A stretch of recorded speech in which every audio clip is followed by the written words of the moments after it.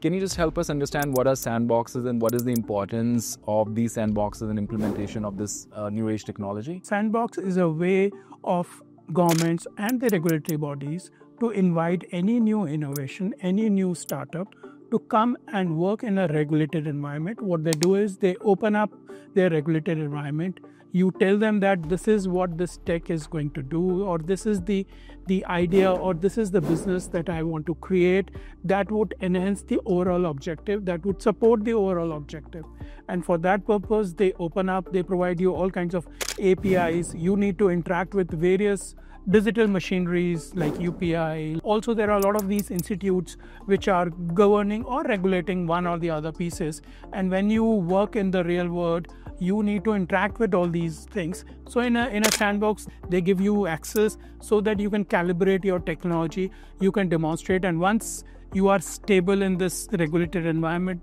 they permit you to go out and work